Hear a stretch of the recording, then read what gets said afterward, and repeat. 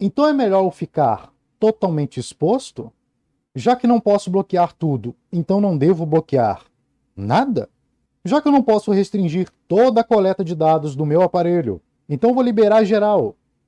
Então, o que está por trás da sua pergunta é isso, meu amigo.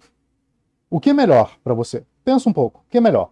Ficar 15% seguro e privado ou zero? O que, que você prefere? Ficar nada, totalmente exposto, ou pelo menos 15%, 10%, 5%, que seja.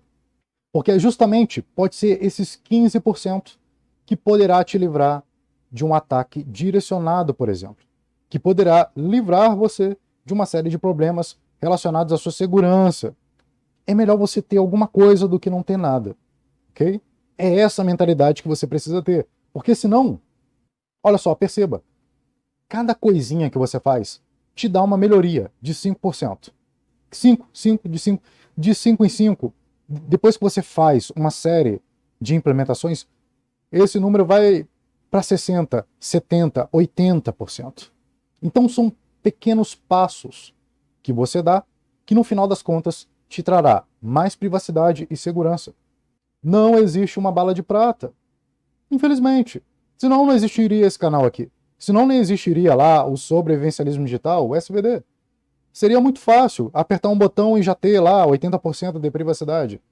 Infelizmente não existe, ok? Então você tem que conhecer tudo que tem à sua disposição, todas as ferramentas à sua disposição, aprender sobre elas e aplicá-las, colocar em prática, ok?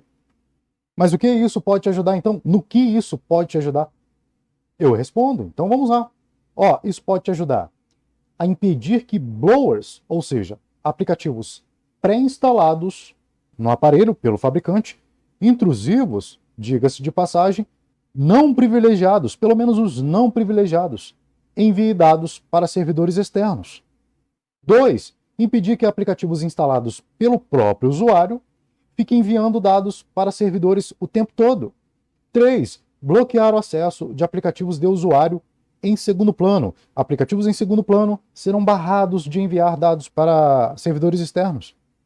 4. Bloquear o acesso à rede de um aplicativo potencialmente malicioso que você, sem querer, instalou, impedindo que o atacante faça uma exploração remota. E impedir que aplicativos acessem a rede enquanto o celular está com a tela bloqueada. São, essas são algumas vantagens. Isso aqui, algumas coisas que você terá, obterá ao fazer isso, ao bloquear a requisição de rede usando essa solução aqui. E isso já vai te dar um bom ganho de privacidade e segurança, ok? Porque vai impedir que aplicativos não privilegiados se comuniquem com a rede externa. Então é melhor estar um pouco privado e seguro do que não ter nada. Você está começando. Pelo menos você que está aqui está começando. É isso que importa, ok?